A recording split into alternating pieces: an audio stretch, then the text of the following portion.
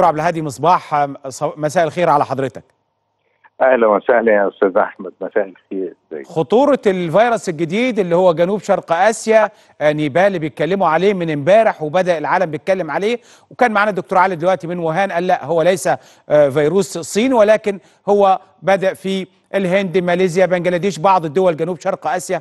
خطورة هذا الفيروس إيه يا فندم؟ وهل هو لسه الآن ولا منذ عدة سنوات موجود؟ لا الحقيقة هو موجود منذ عدة سنوات يعني مش جديد. وهو آه، حصل قبل كده بشكل آه، يعني انتشر في أماكن محددة.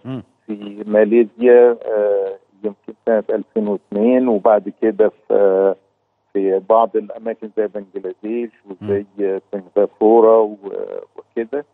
فكان هو بينتقل الحيوانات إلى الإنسان مم. وممكن إنه ينتقل من إنسان لإنسان. يعني لكن اللي حصل إنه آه، في خلال الفترة اللي فاتت دي. هو آه، آه، ما عملش بانديميك يعني ما عملش وباء عالمي. لكنه بيطلع في أماكن محددة زي الإيبولا. وزي فيروس ماربورغ.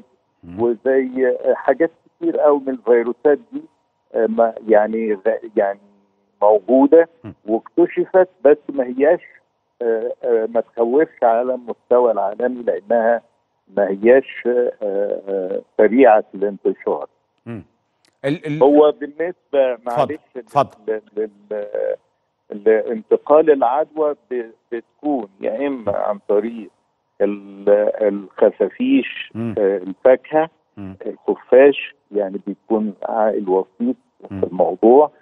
أو إنه بيكون أيضا عن طريق تلوث ال- الأطعمة في الأماكن دي زي جوز الهند مثلا آه، آه، يعني الخفاش يقف على على جوز الهند. أو ال- ال- ال- الحاجات اللي هي بتتاكل على طول في الثمار زي البلح آه آه، الحاجات اللي هي بتتاكل على طول من غير يعني غسيل أو كده.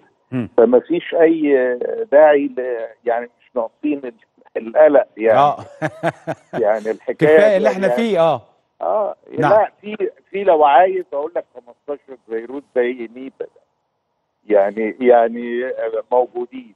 وبيعملوا مشاكل للي بي هو نسبة الوفيات بتاعته 50% أو أكثر يعني. مم. يعني آه، لكن هو مش ما هواش اولا هل خطير ولا لا؟ خ... عنده في خطورة ولا لا؟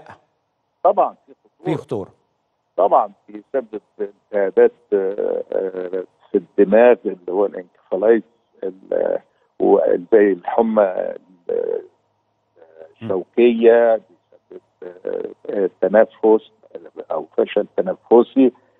و و ولكن آه، يعني ما أعتقدش ابدا يعني آه، مناسب إن إحنا آه، يعني نعمله بطل في هذه الآونة. لكن على الأقل نحذر منه. بالظبط ما آه. يخوفش ولكن نحذر الناس تاخد احتياطاتها أو الدول طبعا. تاخد احتياطاتها. آه طبعا طبعا. إيه اللي يتعمل؟ وإزاي أقدر أفرق ما بين ده وما بين كورونا؟ ولا هم نفس الأعراض ولا هو ليه أعراض مختلفة؟ لا ال- النيبا ليه أعراض آه، مختلفة إنه آه، في الغالب بي- بيبقى له في البداية آه، آه، أعراض مخية يعني الذاكرة ال- الإحساس ال- بعض ال- الأعصاب بتتأثر. آه، ممكن يدخل في كوما.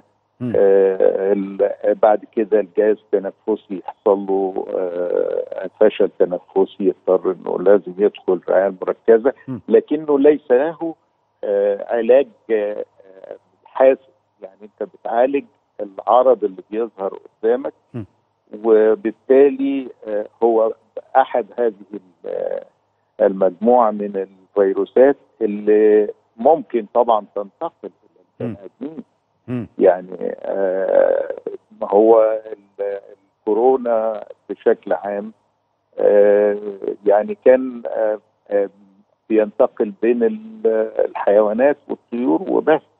لكن انتقل آه في حاجة اسمها السبيشيز بارير يعني الحاجز حاجز الجنس.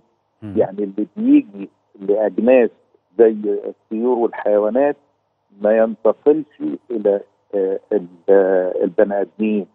فاللي بيحصل إن إحنا نتيجة إن إحنا نمرة واحد بنشيل الغابات اللي موجودة فده ما بيبقالوش سكن. الحاجات دي بت- بتهرب للمدن نعم. وبعدين ال- الحاجات الأخرى الخاصة بال بان أنا ما اغسلش الحاجة قبل ما اكلها إنه آه، ما آه، الوسائل ال- حسب بقى وسيلة الانتقال يعني مثلا زي كورونا لازم التزام العزل أو البعد عن